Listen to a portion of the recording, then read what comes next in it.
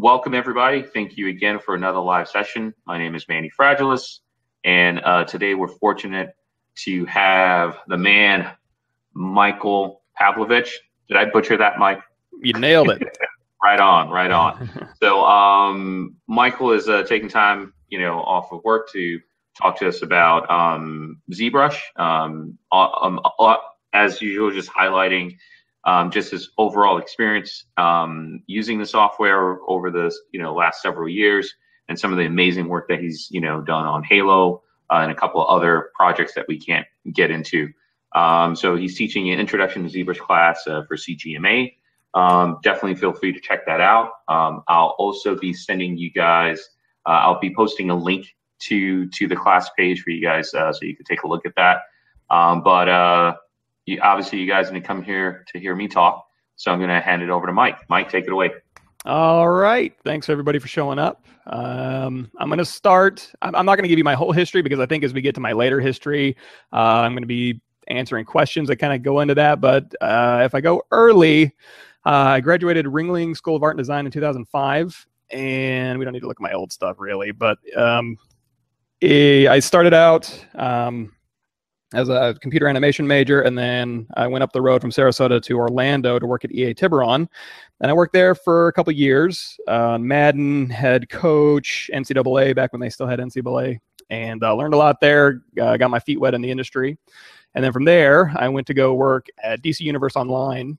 Um, in which is an Austin company, uh, formerly Sony Online Entertainment, and this was my first introduction to like a ZBrush centric pipeline. And we did a ton of really cool stuff. Like here's my first hard edge model in ZBrush.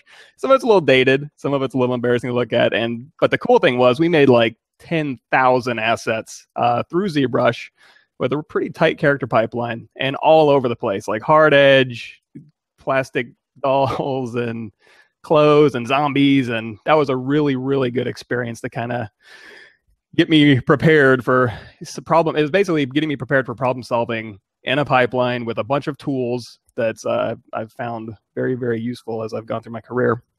Uh, while I was at DC Universe Online working on that, um, I did some videos for E3D uh, back in the day. These are a little bit dated, but they're still uh, fairly relevant a little bit. Um, we did some cool stuff like you know print out this guy. This is back when 3D printing was way new. Like you had to save out your little stereolithographic file, and ZBrush didn't have all the cool uh, STL import and export and saving. And it was a long time ago. I did a Gears of War statue, and I did that statue. Uh, Gears of War statue I did for Mind's Eye, and uh, it was a really cool, good experience. Um, also, well, now we're getting into the little bit of the later. Not this is you know five six years old right now but now we're starting to get into a little bit later stuff. I went from sony online entertainment to certain affinity and certain affinity is a you know they do their own games like uh, crimson alliance and age of booty but we also do a lot of co-development like most notably halo call of duty and like manny said a bunch of other stuff i'm not allowed to talk about. Uh, but that's part of the deal with co-development is you gotta kind of wait for everything to get settled before you can talk about stuff. But really cool projects believe me. And I think we're all caught up. Cool. Perfect. All right. So uh, we'll just jump directly right into the questions. Uh, guys, if you have any questions uh, for Mike, we already have a few queued up. Uh, definitely feel free to just post them uh, on that chat window. All right. So, um, first question: How do I start working in ZBrush? Uh, there's a lot of stuff, you know, and sometimes there's a lot of stuff in it, and sometimes it confuses me, and I drop the idea about learning it.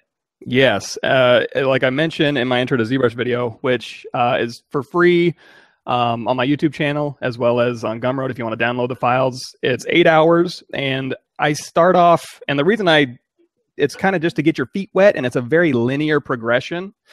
I know a lot of times when you show somebody like an intro video or an intro course to a certain piece of software, sometimes they tend to just overwhelm you with like options. And if you've ever seen ZBrush, you know it gets real overwhelming real fast once you start opening these menus up. Um, I could totally see why somebody would want to go in here and go, "All right, dude, what what do you really expect me to do with all of this stuff?" You know, I believe me, I get it, and I had to learn it myself. So I think, and you know, go and watch it and tell me if I'm wrong, but I think the intro to ZBrush course, though, that's like 47 videos, and it basically just gets your feet wet in a way that isn't overwhelming, you know, and it's there, it's kind of hard for me too because there's so much cool stuff and solutions in ZBrush because ZBrush is an incredibly powerful basically modeling solutions tool. You don't just approach a problem from one angle like, oh, you have to extrude a face. Not in ZBrush. You can do 75 different ways to solve a problem, which is a good thing, but also a terrifying thing to a beginner. So it's hard for me to teach an intro to ZBrush course sometimes. That's why I laid the videos the way I did, is because it forced me to kind of keep it, hey, load up a sphere. Just grab a brush. Here's navigation, a little bit of transpose, little bit of brushes, a standard brush, clay brush, move brush. And I will tell you, after you've used the standard brush, standard brush, move brush, and clay brush, uh, you'll get to the point where enter the ZBrush part one. You should be able to go ahead and just whip out. Let me grab this. You know, a bust sculpt, and you know, just kind of concept in ZBrush, and you can you can sculpt anything. Now, does that mean it's refined? Does that mean you know all the tools and all the tricks to do a production model? No, but at least by the end, you should be comfortable enough to get around ZBrush. You won't be like, man, two hours in and I'm already completely lost. This program is horrible. It's the worst thing ever made. it's a terrible, you know, layout or whatever people say about ZBrush. Um, and I think something that turns people off from ZBrush too is that it's very uh, super artist oriented. So a lot of people, it's actually easier for me to teach somebody who doesn't know 3D ZBrush than it is for me to teach somebody who's learned 3D and they've been using 3D for the past 20 years and then they want to use ZBrush because they immediately almost have that mentality of wanting to kind of shut down once they realize that extrude face thing they've been doing for 20 years is in a weird location or maybe doesn't make sense to them and they immediately just kind of lock up. But um, I've had really good success with people who are just kind of brand new and they just eat ZBrush up like crazy. Cool.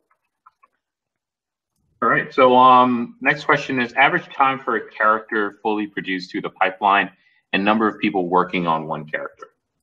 Um, for example, this lovely lady probably took me, you know, and this is from concept to final uh, sculpt, probably two weeks. And, you know, I say two weeks, I wasn't working from a concept. So that's me kind of figuring stuff out and kind of uh, playing around with the ideas and the shapes and the silhouette and the forms and the ideas and the details. And then doing the game res is probably another, you know, retopologizing, bake my mask, probably another week.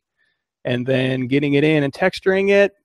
I mean, with the new tools like Substance Painter and stuff, man, you can get a you can get a really nice texture job done in like a couple hours, you know, depending on how well set up you are with uh, you know your smart materials and your uh, texturing pipeline setup that you have. Um, I'm not obviously this is an intro to ZBrush course, but if you're so inclined, I do have some intro stuff. Um, so like on my YouTube videos, I have um, Substance Designer Quick Start, Substance Painter Quick Start, even Fusion 360, um, which is another program that people are kind of like, it's weird. It's you know, I, I like learning tools. I like learning new things. That's my favorite thing in the world to do. So I kind of try and branch out as much as I can. Um, but you know, if you are interested in that kind of stuff, the next step of production, you can certainly go check that out. But long story short, if I'm really feeling it, I got a good concept, or somebody hands me a 3D concept, I can knock out a character this resolution and this fidelity in a week. Um, if it's me concepting and kind of playing around, and it's an hour at night, it might take me a little longer. But um, it's ZBrush is pretty quick. Cool. And how many people are working on one character? Oh well, I mean, for the model, uh, now and it, the, the, things that I've worked on, it's been models and textures by the character artist. Um, of course, depending on the studio you work at, it could be models by one or pieces of the models by one, yeah. um, textures by another whole group. You throw that over the wall to animation. Um, on DCUO, actually, it was a really, really tight pipeline. So the character artist actually did all of the rigging, all of the physics for the cloth, all of the weighting, all of the um, modeling, textures, and all the pieces and goon generation, all of that was handled by the character artist. Obviously, that's not the norm, but it can be done, and it was actually a pretty sweet um, experience. Yeah, definitely. I think uh, I think for games, you guys uh, tend to, um, you know, it's it, it's usually just one artist working on you know the entire character. Uh, for some films, it gets a little bit more, you know, it gets a little bit more complex where you have uh, you could have multiple artists working on the exact same character.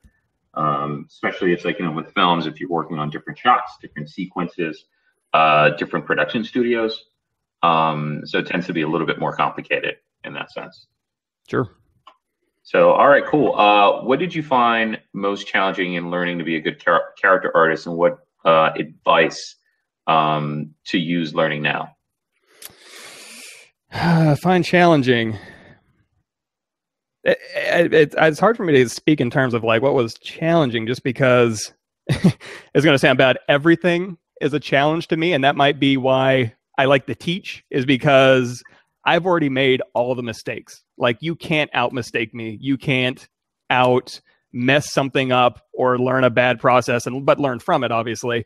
Um, so I mean everything's a challenge. Uh, but I love love love what I do. So even though it's a challenge, the reward of actually overcoming that challenge and learning new stuff is so rewarding that it almost doesn't even I don't even think of it as a challenge. It's all a challenge, but at the same time none of it. It's not really a challenge. You just got to sit down and do it. And character creation is no different than props, is no different than environments, in that it's mostly uh, just observation. You know, you've got, I mean, there's ins and outs and design principles and all that kind of stuff. But at the end of the day, you just have to look at something, create it, learn from it, and, uh, you know, hold on to that visual language as much as you can and just kind of absorb it and then apply that to whatever you're working on be that uh, you can model a fire hydrant you can model a shoulder pad you can model a human face now again like there's ins and outs and there's a little bit of technique stuff and there's a little bit of learning beyond just observation and being able to extrapolate observation to you know concepting or different character types or visual storytelling as you're creating a character that's really important but I mean, at the end of the day, just sit down, do it, and learn from what you do. Most importantly. Cool. Great. Um, I mean, what is this question? I've talked with Epic Studios that fabric creation is key to character creation. Do you have any tips? Uh, like marvelous designer type stuff. Yeah. Um, yeah, for uh, for sure. Um, uh, so Marvelous Designer, I have used Marvelous Designer, and it is really, really solid program. Um, I don't know how much I should talk about this, but I am looking into developing other solutions that's more game friendly, if you know what I mean. Um, I mean, yeah. Marvelous Designer is it's like I have to be a seamstress to be really good at Marvelous Designer, which is fine. There's nothing wrong with that. Um, but if I can just make a pair of 3D pants and then start doing some, you know, like like Maya and cloth, you can just go in there and apply cloth, and it's a little bit of hoops to jump through. Um, but at the end of the day, I'd rather not have to be a seamstress in order to apply cloth to my character. And now that's not to say Marvelous Designer is a bad tool. Um, it's a great tool, um, but it does seem a little bit limiting to me uh, on some pipeline stuff. But uh, yeah. yeah. it isn't. I would say, yeah. Uh, to answer your question, it is important. I mean, if you want to have really good pair, look good looking pair of jeans, I mean, you can sculpt it, and maybe, I mean, it's good practice. But at the end of the day, especially if game pipelines, you need hundred pairs of jeans that all look great. A cloth sim is a really, really good tool. Yeah, yeah, I completely agree. Uh, and Marvel, I think with with Marvelous Designer, they're constantly improving uh, on some of that workflow because I think it started, you know, not more for fashion industry, but definitely you can see the use case for it.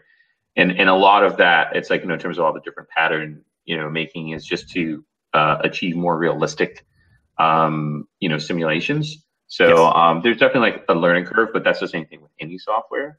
Um, Absolutely. But uh, but yeah, but as as as Michael mentioned, um, just yeah, uh, fabric creation, I guess, is definitely a huge part of that. You know, in terms of creating believable characters, but um, with that. So is anatomy and sculpting a face and everything else that comes with it.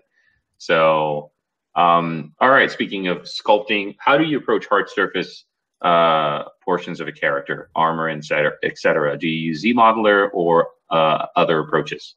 I use everything, man. I like to approach um, a prob. See, what happens when you and nothing to get specialists, but what happens when you specialize sometimes is you have uh, a problem. And if you only, the only way to solve that problem is your hammer, all your problems, all your solutions are going to be a hammer and all your problems are going to be a nail. And that's the old, you know, adage, um, cliche there. But, you know, what happens is you can end up, you know, if you have a, I mean, I'm not talking like a hammer that's a poor hammer. I'm talking like Thor's hammer with leather wrapping and it's made of titanium and it's got gold inlay. It's a nice hammer, but try zipping up your jacket with a hammer. Try rebuilding an engine with a hammer. Try doing, you know, putting on a installing a doorknob with a hammer. It's going to be embarrassing. So, you know, it's tough to say, you know, approach. This is your one approach to hard edge modeling. I would use everything to your advantage. Now, ZBrush specifically, um, I can do. I can kind of do a little bit of demo later, but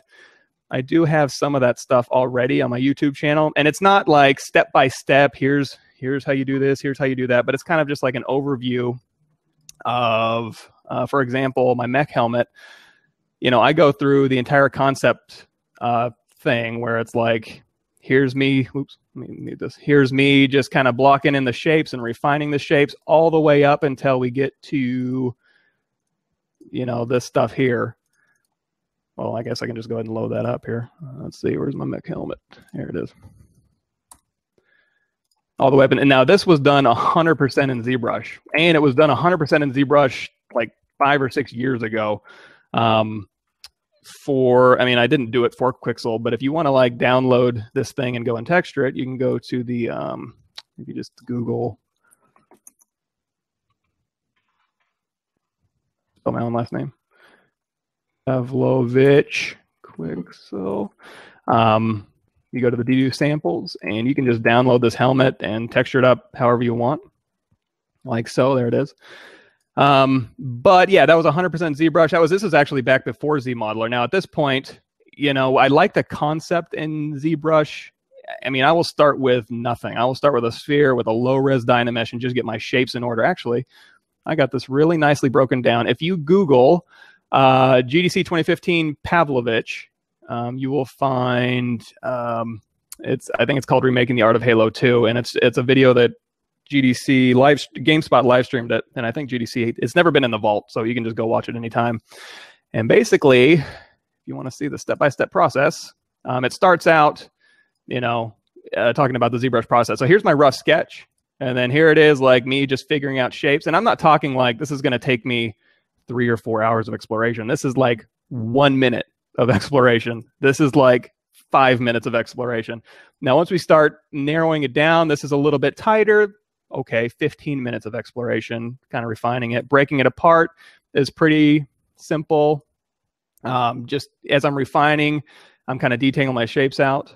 And then at this point, I can actually kind of explore and see how things work, move it around. And it's still very, very, it, it's, it's nothing. Like if I back away from it, it looks pretty good and that's the cool thing about this is that you can evaluate something that looks hard edge, but then when you get up on it, it's like it's soft and goopy. But you're solving problems and you're uh, looking at it in a way that's quick and you evaluate it. And then before you put in all that time and you extrapolate it to this, and it's like, I've got all this modeled in. If you do this first and then you get it in game and everybody goes, oh, uh, it doesn't work on the rig. Oh, the silhouette sucks. Oh, it doesn't work with the environment. It's too busy or it's not busy enough or whatever.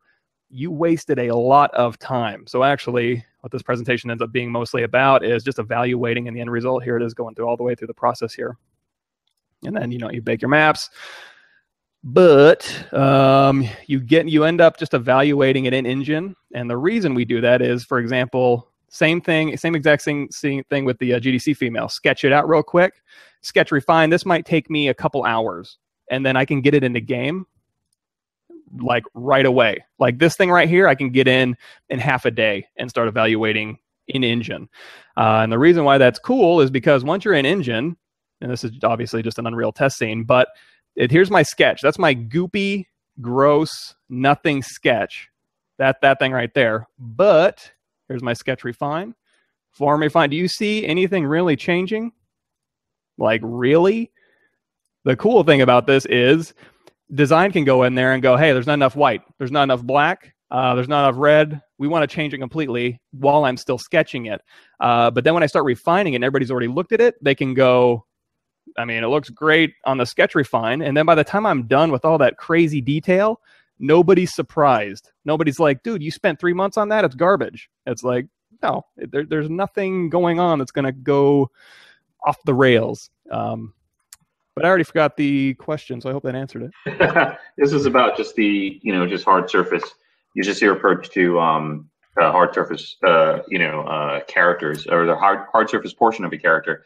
And with that being said, because uh, there's a lot of interest, um, a lot of questions, and a lot of interest on that. Obviously, you know your work um, you know in terms of a lot of stuff that we see is is you know deals a great deal with that and obviously there's a lot of good sense of mastery mastery mastery mastery when it comes to that so haven't had my my, my breakfast yet so uh, what uh, what I was getting to is um, would you be able you know Michael to do like a five minute demo um, really simple shapes in terms of how you would approach you know hard surface and ZBrush Sure. Uh, you want to do that at the end, so I can. I want to keep this stuff loaded, so I can kind of switch between them. But at the yeah, very exactly. end, I can yeah. do. Yeah. yeah. Oh, that's perfectly fine. That would be great. Awesome. So, yeah, I can do that. Perfect. Um, so moving along, what is the best way to make a low poly model after making it uh, high poly in ZBrush? Um, uh, the best way would be to have somebody else do it because it's really boring. But having said that, um, I do like to retopologize in ZBrush. Actually, I, I use like I said, I use everything. I've used Modo, 3D Coat, Maya. I haven't used 3D Studio Max, but it's I could probably figure it out. Um, TopoGun, ZBrush, Blender. Did I miss one? You know, there's a million ways to retopologize something. Uh, but at the end of the day, you're just plotting points and building an envelope to bake high res textures to. So it's kind of, and even at my company, almost everybody uses a different modeling package and a different retopologizing solution. Like it's not like a one thing. You you come work at our company and you have to use Maya. It's like no, it's a model. You can use whatever you want. Now pipeline that's different. You do have to know a certain 3D package, in our case Maya, in order to get things through the pipeline. But as far as just modeling source assets, it's kind of almost agnostic uh, nowadays. I think. Yeah, I, I would agree with you. Yeah, I completely agree. So I've, I use everything and cool. ZBrush. Cool. So uh, knowing a bit of the basics, what would be the easiest way to start working on a simple game character? I know there are more than one way to uh, one ways to approach it, um, but what would you suggest?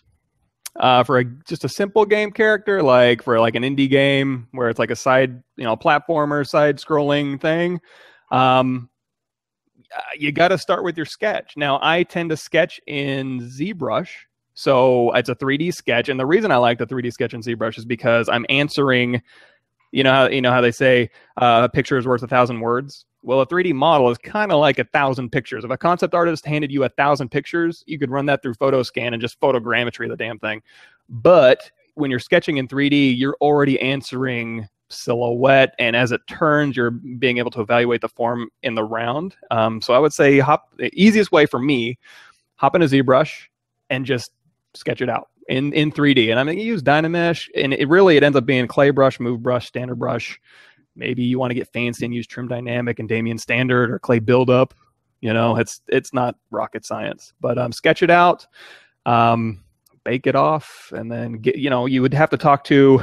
I mean, if you're a rigger, that that goes beyond my area of expertise. I've always had really good tech artists and really good riggers doing that, so I haven't really done that since college but talk to them about getting like good animatable edge loops and whip painting weights and all that stuff to make it a viable end game asset. But to start off, man, just sketch it out in 3D. Cool. And it was a two part question. The other part is um, another question. After so many years working in ZBrush, is it still addictive? oh, dude, totally. like here, here's the crazy thing: is like even if my my nine to five job was like sketching around in ZBrush and making cool stuff, I would still come home and do that for fun. It's completely addictive, and it's it's almost a little scary. right on. Um, all right. Uh, hi, Michael. I want to hear your advice for 3D modelers, props, vehicles, and buildings. Uh, better to start with a tool like Maya slash Max or to jump into ZBrush first? You know, it's what you're comfortable with. And uh, you just have to. I, I tend to use ZBrush and I, I, say as a crutch, but it's just a design tool for me. And I know how to kind of warp stuff around and smooth stuff out to where I can get a pretty good idea of what I, where I want to go. Now that doesn't mean I have to stay in ZBrush for sure, but I do tend to design in ZBrush just because it's so fast. Um, but I mean, I've I mean, look around the internet. There are people who do amazing stuff in XSI, Maya, 3D Studio Max. I mean, they tackle all the problems with their own solutions. So I mean, I could probably make an argument an argument for any program, but at the same time, I can't make an argument for any program because I've seen amazing people do amazing things in every single one of those packages I've Blender, every single one of those packages I've ever I've described. So I forgot the question again, but sounds like I, I, I, guess. Well, I'm going to ask another question, which kind of feeds into that, which is: Would ZBrush be good for environment modeling? Um, or is it strongest for character modeling? Um, you know, it's kind of how you want to do it. Um, I do everything in ZBrush, so it's e- easy for me to say uh, just use ZBrush. In fact, on Sway, uh, I shouldn't call it Sway. It was like Halo Two Anniversary. I think we did a uh, an environment. Oh, you know what? I should look this up while I'm talking. Um, anyways, I I concepted the whole thing out. Halo Two and I wish I remember the name of the map and um, I basically concepted it out uh, just as a 3D model in ZBrush. And we're talking it was it had like a gigantic tower.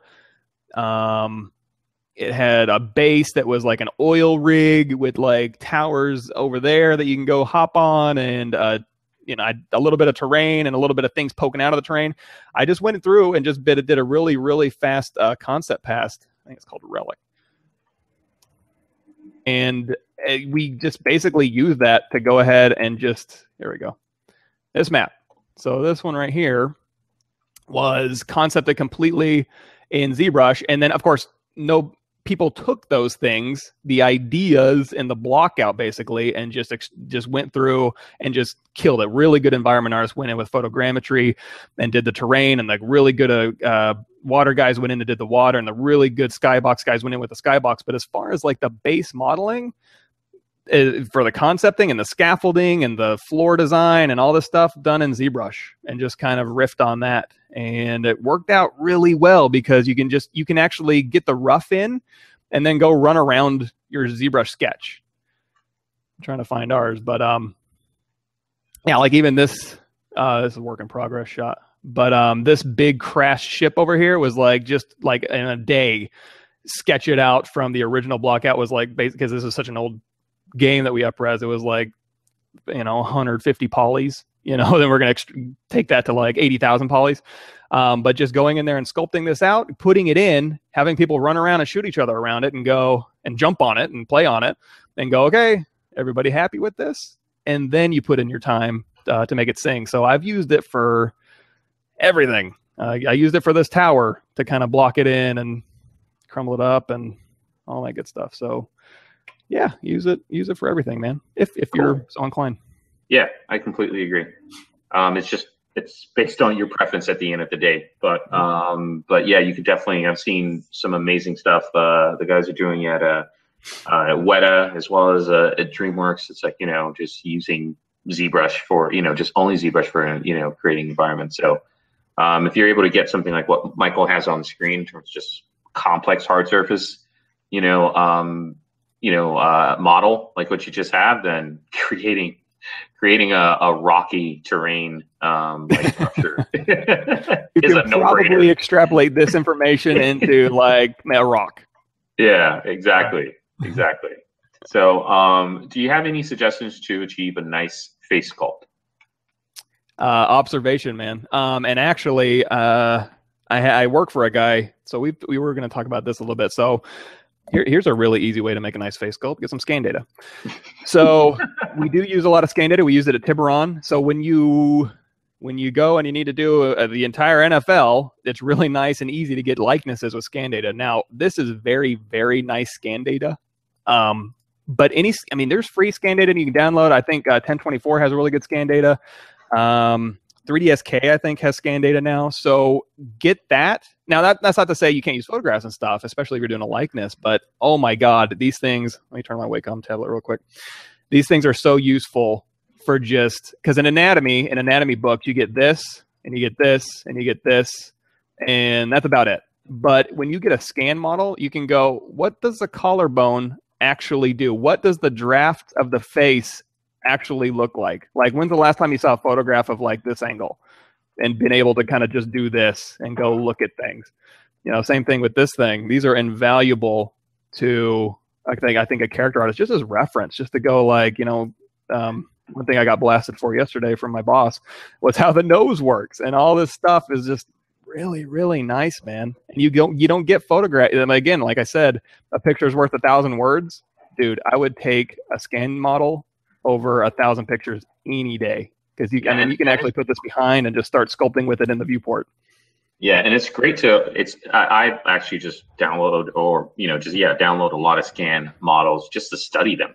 Right. Yep. Absolutely. Um, you know, it's just an amazing reference. Uh, so yeah, I completely agree.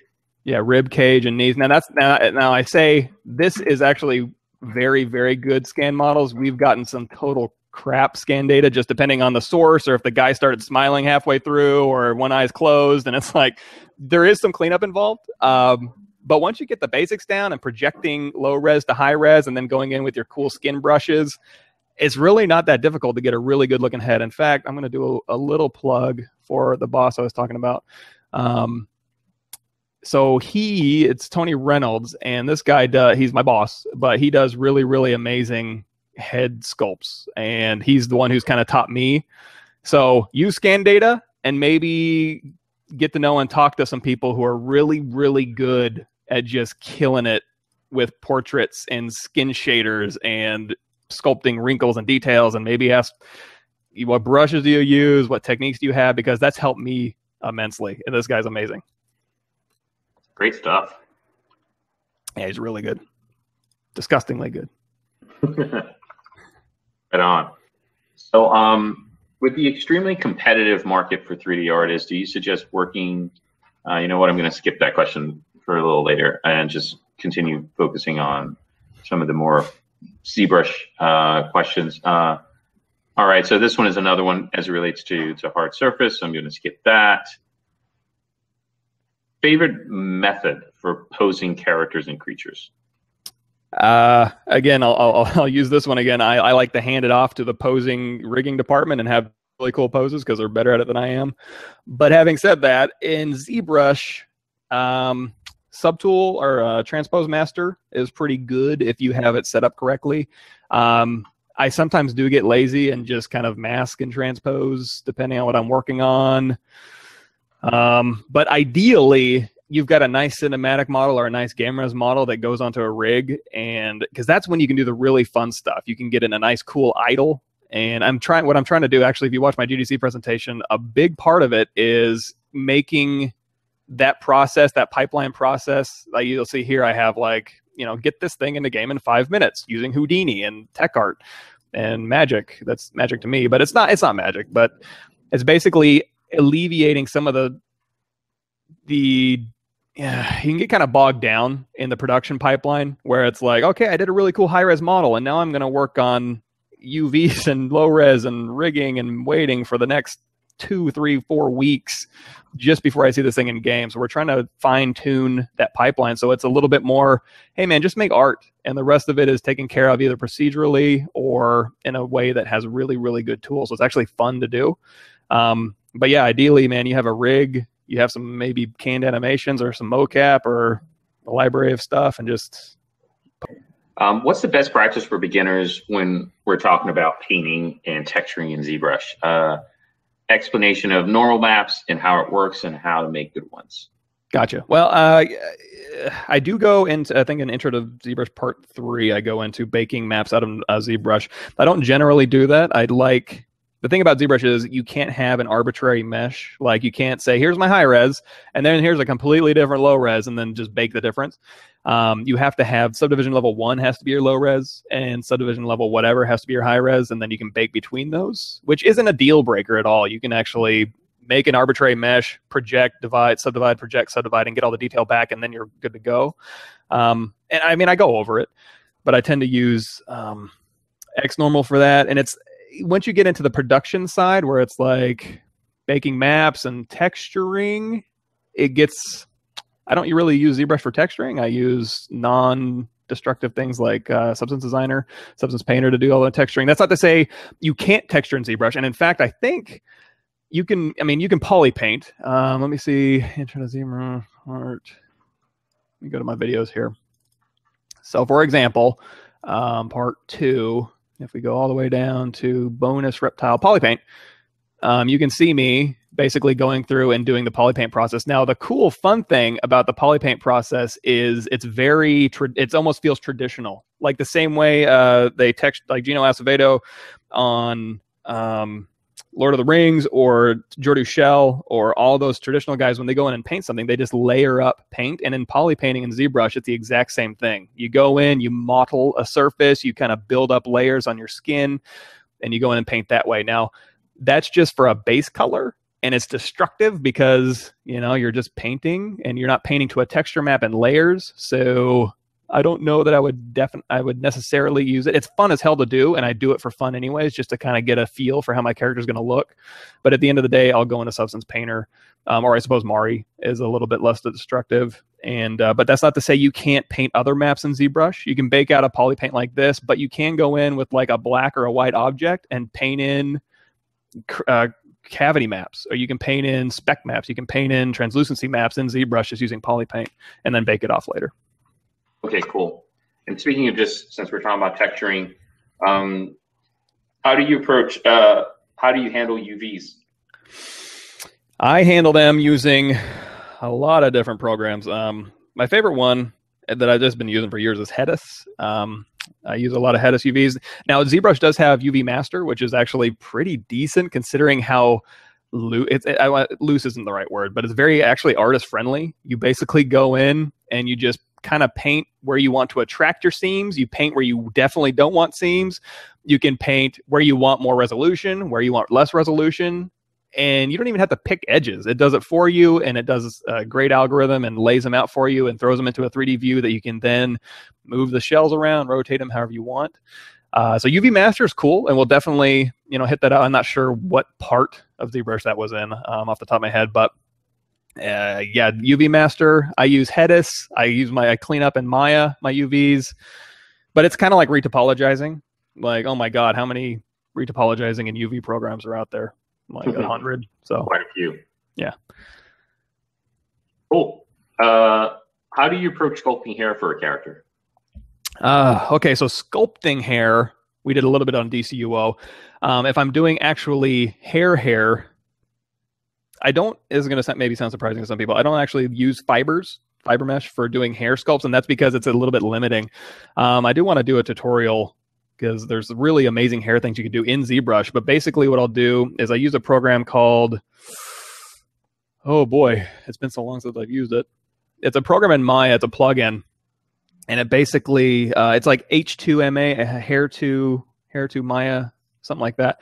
And basically, what I'll do is I'll drag out hair strips, and I can do a demo on this too, really quickly at the very end, where I just drag out hair strips and then convert those hair strips in Maya to more hair strips, more hair strips with different styles, so I can get flyaways. Um, splines, if I want to do like a cinematic render, I can tra- I can transfer them to anything in Maya once I get the nice cards drawn out. And I think the power of ZBrush isn't necessarily drawing on the strips because you can do that in any program, but ZBrush is pretty nice. But when you go and look at a hair tutorial, at least back when I was looking at hair tutorials, it's always like, here's how you make a 1950s Hoosiers coach haircut, you know, and it's like, okay, that's the easiest haircut you can possibly do. But that's all anybody ever does is because hair's a little bit tough. But in ZBrush, uh, I can show you a couple different things at the very end where you can actually, you know, how braiding is kind of like, ooh, how do you braid a hair? We're using splines. Good luck combing that into shape, right? Don't do that. Do it in geometry, convert that geo to splines, and now you've got braided hair. You want a Viking dude with a beard that's all like Celtic knots don't try and comb that into a knot, you know, model it into a knot, convert those polys into hair, and then you're off off to the races. Cool. So, uh, what's the difference making a model slash mesh for a game, 3D printing, 3D printing, um, or freehand art model? Well, a freehand art model just being like a concept sketch that you just kind of yeah. model. Um, it's uh, so the just the art model is probably the most free for you to just kind of do whatever you want because at the end of the day, it's just going to be a screenshot that you paint over or just a turnaround.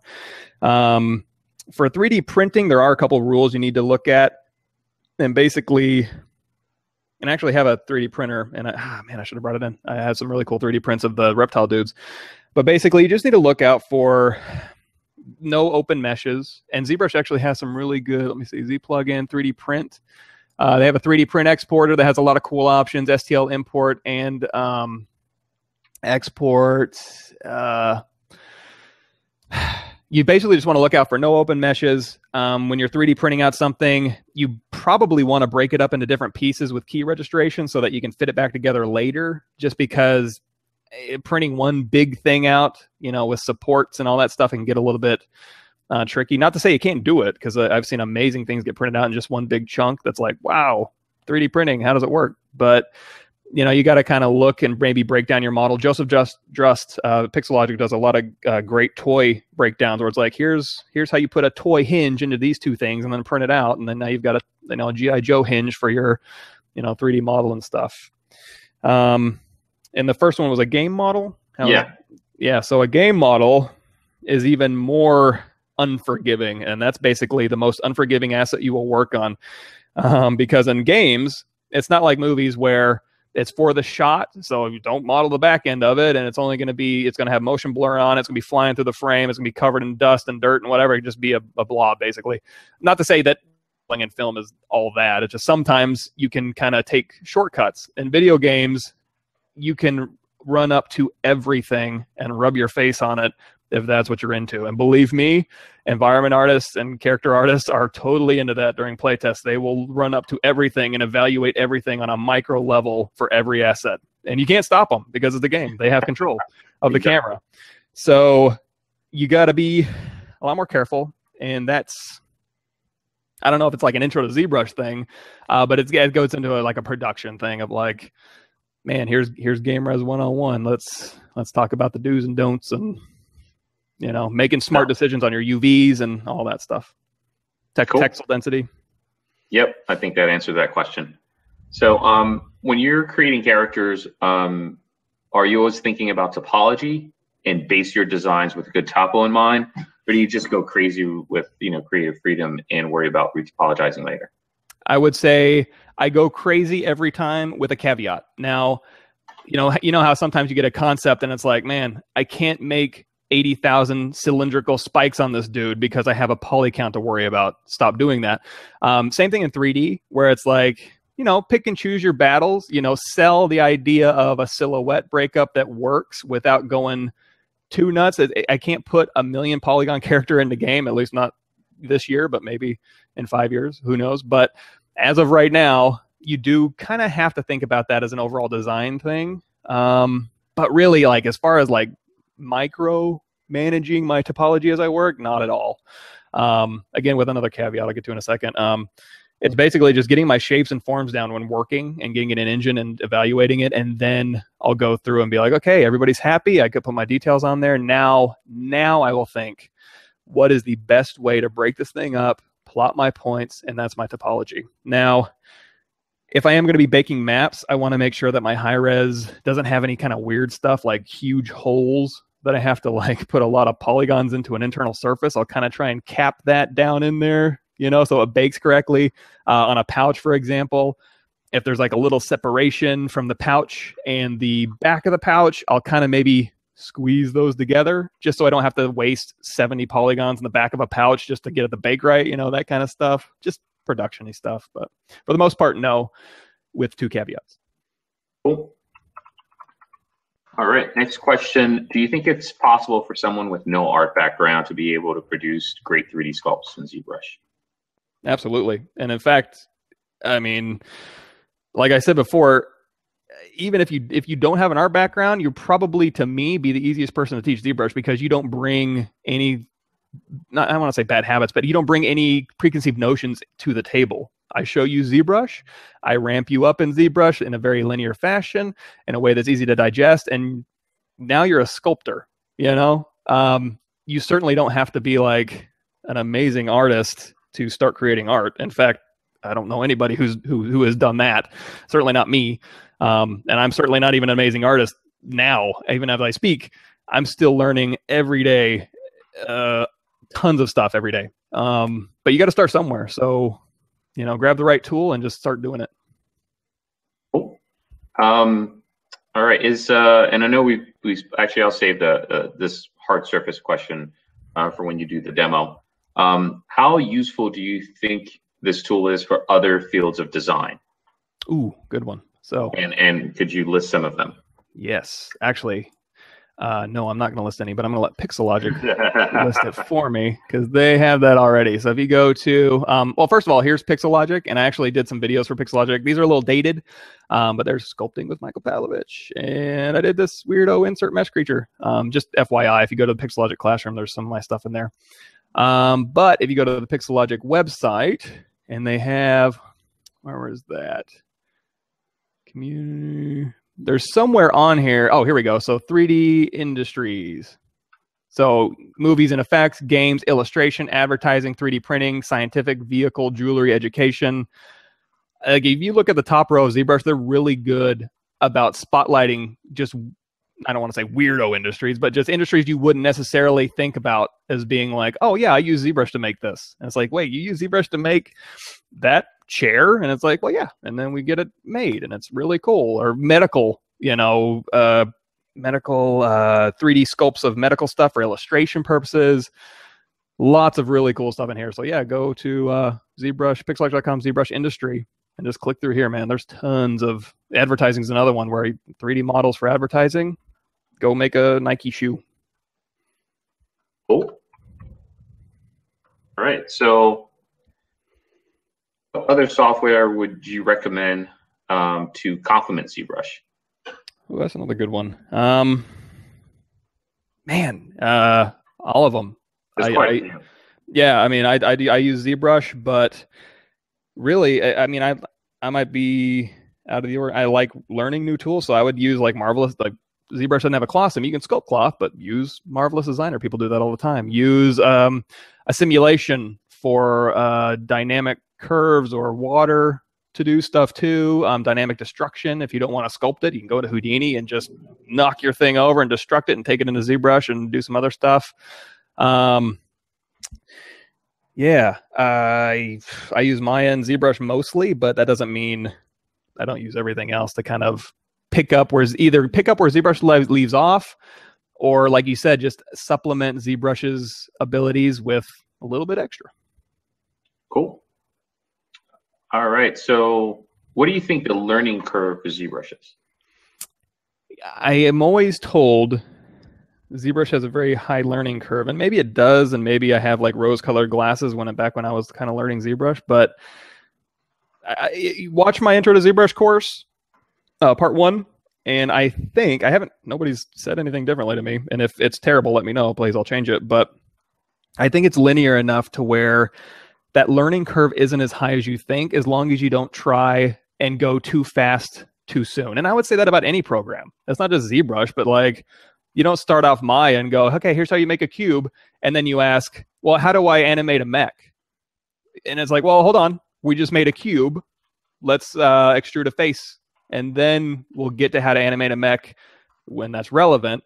Same thing in ZBrush. You know, you got to start somewhere, get comfortable in ZBrush, and that's what part one is all about. Is just getting comfortable, and then after that, you can start asking a little harder questions about how do I do this crazy thing. Well, from what you know and what I can tell you, here's how I would solve that solution in ZBrush. Cool. What are some of your favorite tools or shortcuts to use in ZBrush? Oh man, I got a lot. So first part of part two is me using this custom menu that I made. Uh, because, like I mentioned before, if you're over here doing this in ZBrush, even if you're like a veteran user and you've got like seven menus up and you're kind of digging through all this stuff, number one, you're going to go blind. And number two, you're not going to get a whole lot done just because you know you got to do so much scrolling but zbrush is super cool and their customization is spot on as far as i'm concerned it's amazing um, everything i need is like right here and so, one of my favorites, uh, just go down the list. I like Dynamesh a lot. Um, I do like ZModeler a lot. So, those are my dynamic subdivisions right there. Um, creasing and uncreasing edges while I'm doing hard edge modeling. This is my poly modeling menu. Um, if I had to pick one, it would definitely be just the freedom of Dynamesh. And Z ZRemesher is actually pretty damn cool too, as far as getting automatic retopology. So let's say Dynamesh, second place, ZRemesh. Cool. And the flip of that, which is, uh, what are some of the things you don't like about ZBrush? That's a really good question. I mean, when I'm up at like two in the morning and something happens that I'm not predicting, I could probably write you a really good one. Uh, but on the spot here, you know, depending on how you use it, ZBrush can be very good to you or it can be very mediocre to you if you're trying to make it do something that it's just not made for. Uh, I've been using ZBrush so long that I don't really get too much crap from it. And that's not to say it doesn't do things sometimes where I'm like, ah, why did that just happen? But okay. those are pretty few and far between for me. Okay, cool.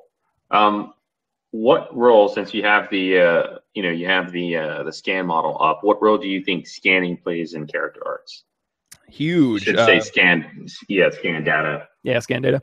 Yeah. Um, I would say it plays a huge role it, like what, what Manny said is just for reference for for a character artist is just to be able to go around a scan data model that's from an actual human being and get it into your program and zoom around it is almost a surreal experience the first couple times you do it where you're just like oh my god i've never known how to make a nose like that but there it is you know um, but as far as like i was saying when we worked at tiburon it's like okay everybody in the nfl needs to go in game Whew you know, it's really nice when you get something like that, scan data that you can go and snap, you know, your base model to with UVs and just snap it to the likeness. Um, same thing I'm doing on another thing where we're just, you know, you go get a model and you snap your base model to it and you get a likeness like that. Now, this, like I said, this is a very, very nice scan data, but I would still, I would still say most scan data, other than just reference, is probably only good for about your high or your um, low frequency to your mid range details and forms. It's great for forms.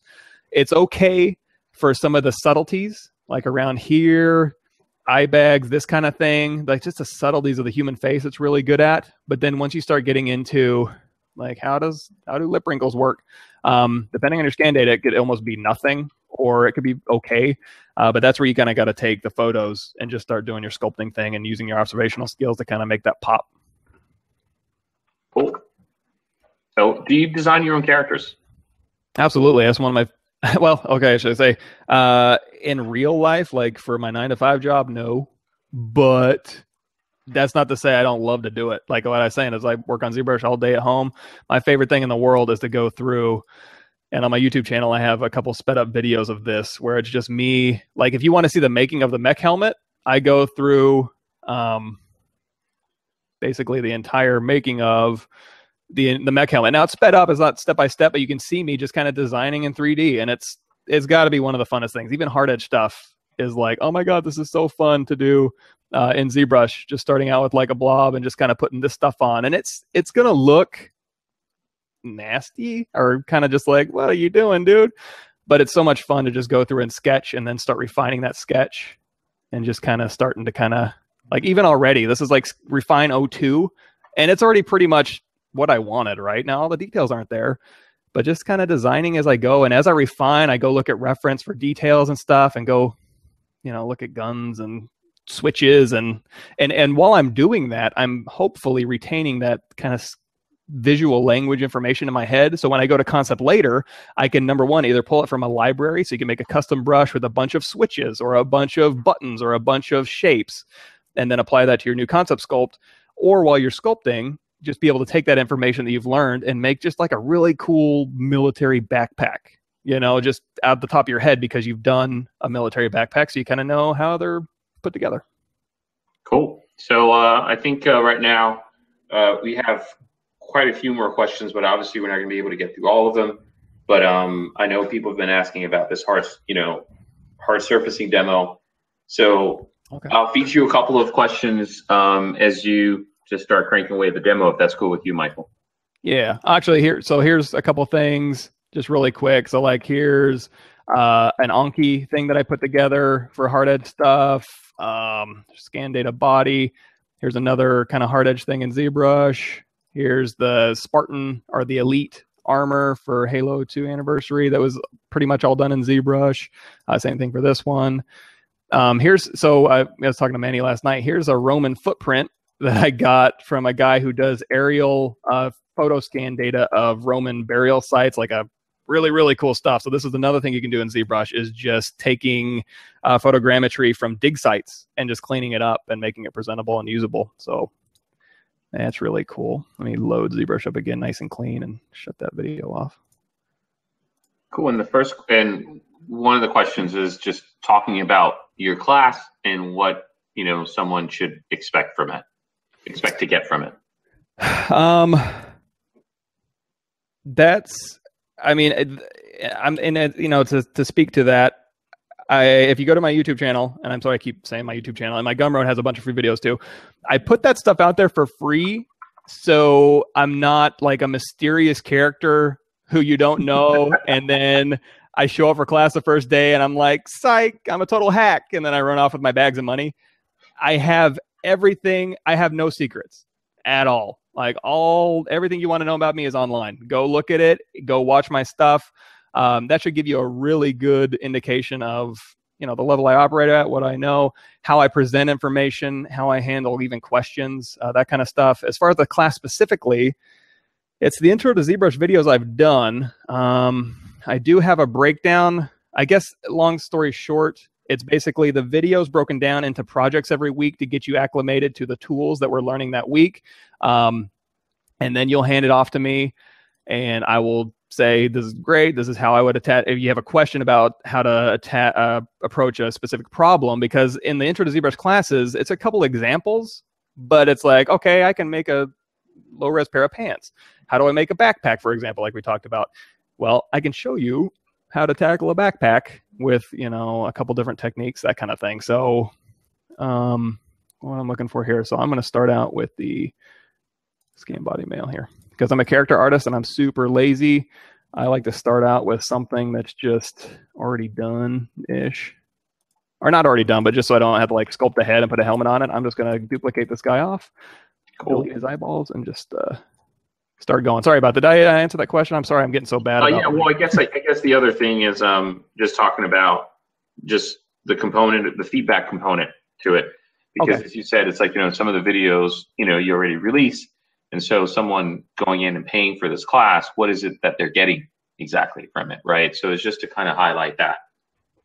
Yeah, uh, you're getting I mean, I, I could totally understand, and actually I had one of the questions on uh, my Facebook page asked like, "Hey, why why am I paying for this as opposed to um, just watching your videos?" And it, I I get it, believe me. And the videos, I'm biased because I made them, but the videos are good, and I think if you watch them, you will learn a lot. However, if you want to kind of fast track uh, your production skills as far as like problem solving you'll figure out problem solving over the course of your if you're good and uh, you're into it maybe a couple months sometimes a couple years, sometimes you may never come across a solution that I've been using for a long time.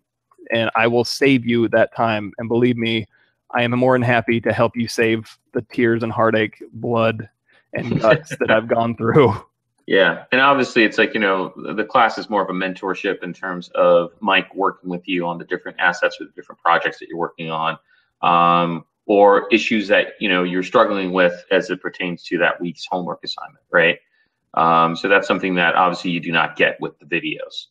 Um, so this is definitely an interactive session where Mike is providing you with feedback on that. I love doing that too. Just I teach here in uh, Austin at uh, Gemini, and I was just kind of riffing with my students, and we just talk about visual storytelling and design, and we just have fun, like not, like beyond the ZBrush techniques because they are what they are. Also, just kind of breathing some life in your characters or into your prop, even is just super fun to me. So not only am I going to talk about like this is step one of how to do something in ZBrush, I will definitely mean for what it's worth. I don't know if you my opinion's worth anything to you, but I will definitely go through and help you just kind of maybe explore some new avenues for your designs as well. Cool. So we'll let you just get to that demo, uh, and you can just talk throughout the session, but I'll you know limit the questions. And then after this demo, we'll do the uh, hair one that you mentioned as well. Oh, gotcha. Okay. Uh, yeah. So, um, do you want to feed me any more questions, or just kind of talk about what I'm doing? Uh, I would say just go ahead and talk about what you're doing.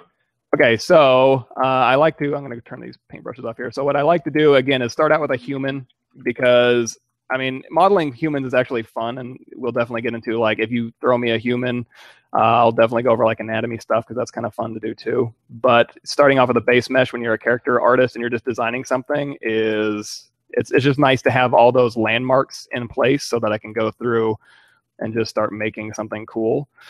Um, and when I'm just riffing on a sketch, I'm just going in with like clay brush, clay buildup, standard brush, and it's like intro to ZBrush part one is basically how I design. So if you've watched that, I'm gonna go turn perspective off for just a second. Um, if you've watched that, you probably have a pretty good idea of how I just kind of tackle like just blocking in my shapes here. And again, like we've discussed before, I'm not thinking about like, oh my God, how do I make a hard edge here for my final model? It's like, do I want a hard edge here? or do I want it soft? Or do I want his face to go like this? You know, and as I'm kind of going around and evaluating, it's like, okay, that's kind of weird back here. Let's think about maybe doing some of this stuff. Or maybe I want to go into my snake hook brush and just kind of, you know, pull out to a corner. And there are some uh, techniques in here where like the move brush with move accu turned on, you can like, well, let's pull out or make some more aggressive shapes you know, getting into like character design, like you want to make this guy aggressive or uh, soft or what what's his story? What is this? Is this medical equipment? Is he a researcher? Is he a you know a space marine who's going to go shoot people in the face all day? It just kind of depends on you know if he is going to be a space marine, then obviously the first thing you're going to want to do is just like give him a total like Punisher face and just kind of go in and be like, uh, yeah, now we're ready to go and you know do whatever. Now once you've done that, it's like, okay, do I like that? And if I do like something, like, okay, this headpiece is kind of nice. Let's refine this. I'll go in here. I might up that resolution just a little bit and go, okay, let me bring out my hard edge brushes. And I use hard edge brushes for my organic modeling too. And I don't really don't differentiate between them, but I know that language is kind of already there. So I will go in and kind of be like, okay, what does this thing do? Um, it it's a vent. Okay, let's make it a vent. And I need to give it a little bit of a border here so we can change out his filters, right? And then I need to put some screw ports in here so we can get in there. And to get his fingers in there, there's got to be like a little divot so he can kind of get his fingers in there and unscrew it and then change out his filter. Now, is that dumb? Yes, because I'm riffing as we're just kind of sitting here in a five minute demo but that's a kind of visual storytelling that's kind of nice to do and definitely look up a lot of like reference one guy who's really good at it is uh, mike nash he his uh, like all the mechanical stuff he does and I, i'm guilty of this where i'll just go in and just like make some crazy stuff and be like dude it's hard edge and then it's like okay and and what else you know is that a dumb design or what does it do you just a bunch of crap thrown on it um, but to avoid doing that is good and just building up a realistic shape language so you can visually tell people what this is, how it functions. And doesn't have to be functional, like unless you're going to be doing like a movie prop where you zoom in on in IMAX and the hand comes apart and realistically.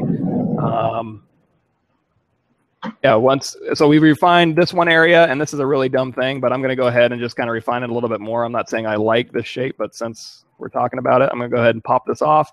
So I'm going to go through here, hit Control W or Control Alt to tighten that up. Control W, go ahead and pop this thing off. Split hidden, solo mode. Let's do a quick close holes. Do a quick mirror and weld. Isolate that. Bring this back.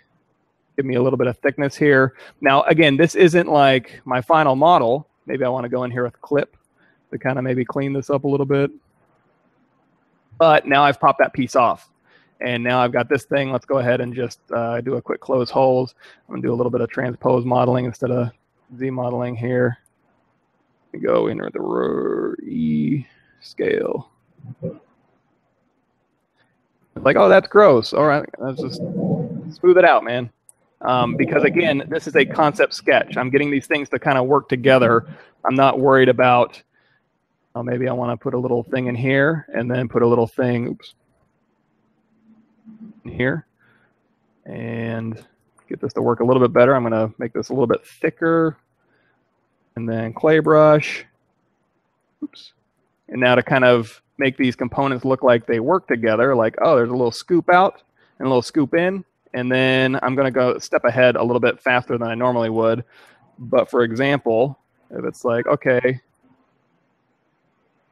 want to go to brush, insert industrial parts, and just grab a screw and just go whoop, done. High point split hidden. Go ahead and pop that thing out. And now we've got like a little screw, you know, and or a little lever.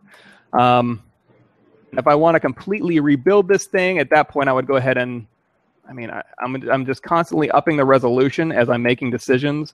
You know, maybe I'll pop this panel off and hard edge model it in ZModeler, or I'll retopologize it with my retopologizing tools and go ahead and like crease a nice shape out of it. So I have a nice shape that I can go ahead and I can either dynamesh it again, or I can just use dynamic subdivisions and just kind of make it look cool.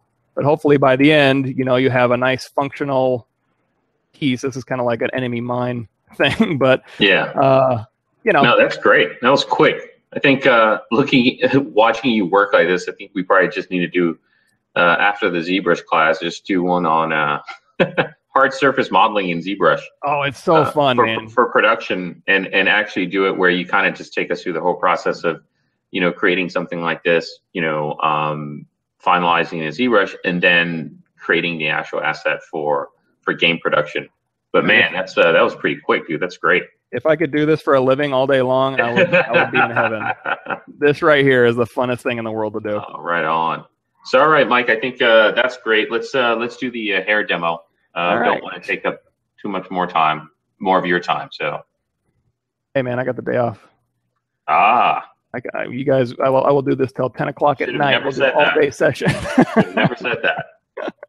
Um, so to make hair, uh, let's go ahead and just make a hairbrush. And that's fairly simple. I'm going to do plane 3D, drag that out, make it a poly mesh, go into polyframe. I'm going to go ahead and reconstruct just to kind of simplify this plane out a bit and delete higher. So now I just got a simple plane.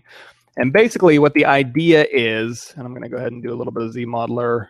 Uh, let's go ahead and do a bevel, a bevel edge loop. There we go.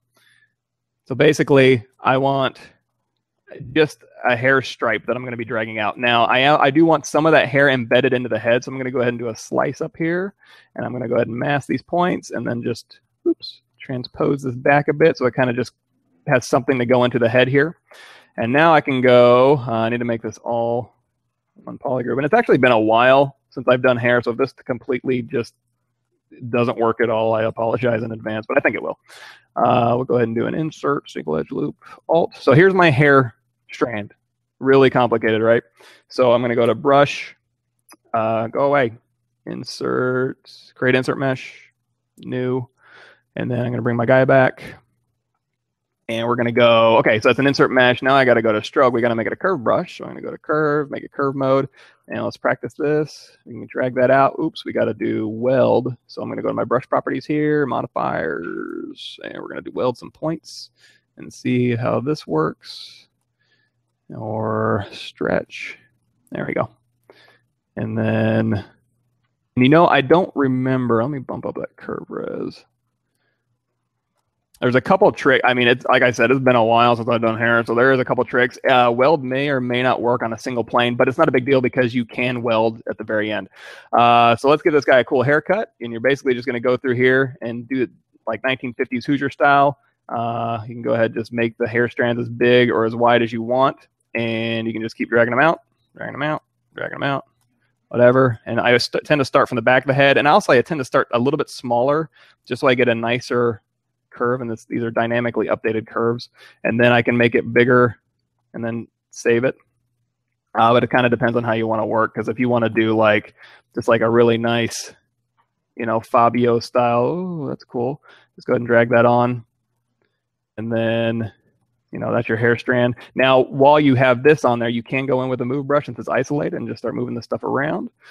And I'll just go grab my brush again. So anyway, we're just going through, making some hair, making some hair. And these are just hair cards. If you want to get fancy, oh man, do I have fancy brushes? I should have done this. Do I have hair? Fancy brushes? Yeah, we have fancy hair brushes. So, um, insert multi-mat. Yeah, okay. So you want a hair that does something like this? Totally doable. There. Okay, now that's what his hair is. I'm going to inflate this a little bit. And now when I go into my um, G2, it's I think it's called G2MH, um, Geo to Maya hair. I can take this. I mean, I have to I have to finagle it a little bit, but I can take this directly into Maya and convert these into hair splines, and then I can render out a gorgeous Celtic knot hairstyle. Um, where's another one? Let me see. Brush like here. So if I want to do like badass Viking dude with like a beard that's craziness, and go ahead and I'm just gonna hit six a bunch of times, kind of flesh that out. So like, okay, cool. Here's his beard, and I can do hair cards around that. I can go in here and just kind of be like, okay, here's my hair, and then I can go in here with inflate maybe kind of inflate that up so it looks just like knots. And now I can convert that to geo, or I can convert that to splines, or I, or I can convert that to more hair cards if I want in that program. Um, so that's that's that's a really cool thing that you can do. That would be incredibly tedious to comb that into place. Now I'm sure like at places where they have like entire teams dedicated to making awesome hair for movies, they have even more amazing solutions, obviously. Um, but for just like a really quick one, like in ZBrush, that's not too shabby. Now I'm doing a really crappy job of just kind of putting in the hair, but I think you get the point where it's just like going in and laying your cards in. Come on, there we go. Um, and I start from the back just so I can kind of go to the go to the front. And if you want to like a part in his hair, you got to kind of decide. Oh, you know what? I totally forgot to do. Here's what I forgot to do. Here's here's another thing I like to do. Duplicate this guy off. And let's go ahead and him. I also like to really quickly kind of block in what I want my hair to look like so I know how to drag my cards out. Oops. Yeah, so instead of free forming it, I like to go, you know, like maybe Game of Thrones warrior to uh, 1950s Hoosiers coach to Mad Men to Mohawk, doesn't matter. Go in here and kind of determine, and this is just observation too, just being like, okay, I want a part on his hair here, and this is gonna gonna kind of go over. There we go, and now I know how to drag my hair cards out. You know, or if you want like, let's make him like totally art rocker style, like, what's up, dude? Go. So now I have that base sculpt, and now I can go ahead and drag cards on there to determine my hair flow. But these he's looking pretty cool too. anyway, does that make? Cool. Oh, so I mean, okay, it's just to kind of just take this to the next step. Uh, let's say you got your hair cards all beautifully laid out. There are a bunch of different poly groups. That's not good. So what I'm going to do is isolate this guy. I'm going to do a quick split hidden, and now I've got my hair here. Uh, let's say I want my knots to be separate from my hair, so I'm going to grab this, these three, these things here, and split those off. And now I've got my hair cards here. I can just go ahead and do a quick um, make it all one poly group. Uh, I'm going to just very quickly do a ge- I can do it here. Uh, weld, do a quick weld point so that when I do an auto groups, now I've got individual hair cards and I can very quickly go in if I need to move these things around. Go to auto masking mask by poly groups up to 100 and now i can just very quickly go in and just manipulate each one of these depending on which one i grab first so it's really easy to go in and like style and move stuff around if you want to, or if you don't want to, if you want to move them all around at once, just turn that off and or you can turn on topological and that'll do the exact same thing. So a lot of different solutions for a lot of different problems. Cool. So, and a couple of quick questions um, before we take off. Um, what advice would you give someone who's thinking of changing his career um, and starting uh, going on this path of 3D slash 2D design? That's a good question. So the good and the bad. Well, okay, so I'm not going to get into like socioeconomics and political stuff and job markets, you know, because it's not like the game industry or the film industry isn't um, affected by, you know, you know, you have to have a bachelor's degree now to get a job at a, a drive through, you know, that kind of thing. Um, but the good news is if you've got a strong portfolio, at least for what I do, it's not I, I can get a job. You know what I mean? So the bad news is it is a very competitive market, but the good news is since it's portfolio based, and you're not like a complete weirdo to work with, you will do fine, I think. That's just my opinion, but if you've got a strong portfolio and you're easy to work with, you'll get a job. Yeah, I, I, I would second that in a heartbeat. I completely agree. I mean, um, and and Michael and I were talking about this last night. It's like, you know, until until you could go on some of the job boards, you know, that exist and are like, oh man, there are no jobs at all for modelers or, you know, character artists. Uh, until that happens, you know, that's when it's, you know, then it's official, right? Then it's scary, like, oh man, there's just no jobs out there because they're taken out. But you could look at any of these job boards in any of these company websites, and they're constantly looking for artists. Uh, they're looking for an amazing artist, and that's that's what it is, you know. And so, but I think it's it's it's out there. Yeah, it's a competitive market, but you know, um, Michael doesn't have a problem getting work. I don't have a problem getting work you know someone like Fausto or Pete Zoppi or you know a lot of these guys. It's like you know they don't have problems getting jobs uh, because they're amazing. So um, so yeah, so I completely agree with you, Michael, on that point. Cool. Sweet. So um, and this is a question in terms of just staying focused, which some of the some of the guys uh, on the chat have already answered, but how not to sink into today's vast amount of information, tutorials, tutors, articles, how to stay focused uh, now and in time when you're learning? Um, you know, that's a, that's a really good question, and I don't know that I have a great answer because I have a hard time kind of staying focused. One thing that kind of helps me is, and I, I wish I could do it more, but I'm not that. And this is gonna sound terrible, but I'm not that active on forums and I would I, I love giving back to the community that's why i have my youtube channel and it's just full of videos and just like here watch me uh, have fun. But as far as I, I will, I will take my, I will pick my head up and look around every once in a while because it's important for you to do so you're not in a rut and you're not not learning um, and you're getting new techniques and new solutions because they're coming out like our industry is like crazy. Every four years in the game industry it's like a 180 it's a complete change. Just forget everything you've learned because we don't do it that way anymore. And if you don't go along with that flow, you're going to be a dinosaur. Um, and you know, it's it's I, I shouldn't say that, but it, it it's very easy to get kind of lost. But at the same time, it's very easy to get bogged down, like you said, because things are changing so rapidly. It's like how do you how do you know when to stop working? Not stop working, but how to know when to invest your time in a new technology and that's just something you got to fill out with your schedule, man. Um, I'm lucky yeah. enough at certain affinity to where they're very uh, they're very easygoing with me personally because if I find something, and my GDC presentation talks a lot about this, where here's a new texture solution, we're on the character team, we got to solve this problem. They will give me time to explore things because they trust me because I've gone through and I've gone and I've used different programs and I've gone, okay, this works. I think this will work for the solution. We're going to try it on this little sandbox thing here. And if it works, great. We'll, you know, roll it out to everybody. I'll do a little tutorial. We'll do a little class.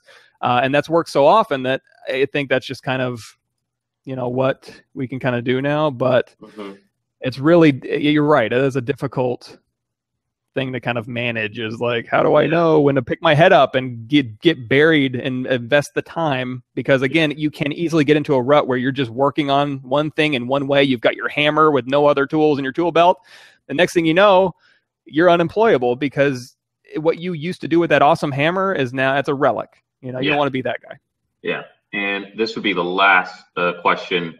Uh, any tips for a beginner uh, for a beginner that um, that you faced um, when you first began? Yeah. Um, a really uh, so real okay so th- uh, two things a really good one is that nobody is ever just going to give you anything in this industry uh, and not and that's not to be like a mean thing like oh, they're always it's political and they're going to stab you in the back. And that's not what I'm saying. What I'm saying is if you want something, you have to prove you can do it. No one's going to ever take you at face value. Maybe they will if you're like best buds. But even then, it's like, I'm not going to stick my neck out for a best bud if he can't prove to me, because that's my name too, right? So if you want something in this industry, if you want to go from environments to character art, you got to kill it on character art before they're going to go, all right, man, if you just show an interest, that's fine. Uh, but if you really want to sell it, and this is almost for anything, if you want it, you have to sell it. You have to sell that you can do it, and then it's e- it's an easy decision for management. It's an easy decision for leads to go, hey man, at first I didn't think he could do this, but he totally just killed it on this thing. I'm I will I would be more than happy to kind of work with you to get you what you want. Uh, if you don't do that, don't expect much. Um, another thing is this industry. If you're you will be sitting on your butt all day, so don't be like me. Like my weight has fluctuated up and down. Do something active because it's going to keep your brain firing on all cylinders. It's going to make you feel better and you just ha- it's something you have to make time for because your body will deteriorate like crazy when you're sitting in your desk for 10 12 14 hours a day yeah exactly uh, and sue hopefully that answered you know your question um, it, it's a very it's a very general and vague question to an extent you know um, because there's just so many different things so um, we're going to be obviously doing this again um, this is something we want to try to do every week um, and if if you're you know if you're around, um, I would definitely you know advise you ask that question, but be more specific. Um, you know as to you know as to which aspect of being a beginner, whether it's like your first job, your portfolio, you know demo reel. So the more specific you are with your question, uh, the more specific we could be in terms of answering it. Oh, it's true because yeah, I just think about that now. I could totally answer that as like beginning modeler. You yeah, know, exactly. exactly. Sorry about that. Sorry if that uh, didn't no, not a problem at all. Not a problem at all. Well, guys, uh, thank you again. Um, you know, for joining us, and and and Michael, thank you for being you know just an amazing uh, amazing presenter and just just sharing your knowledge with us. Um, guys, uh, I've sent you the link for the classroom uh, to check out Mike's you know to check out Michael's class. Um, definitely let us know if you have any questions. Um, once again, we're going to be doing this, uh, you know, a lot more and providing you guys with um, access to a lot of these amazing artists and talking about what you know what makes them so good. So, um, thank you again. Uh, it's Friday uh, for people who are here in the states. Have a great weekend, and for everybody else who's currently enjoying their weekends, uh, continue to have a good one. All right. So you guys have a great one, and uh, we'll catch you in the next session. Awesome. Thanks, guys. Thanks again, Michael. Thanks.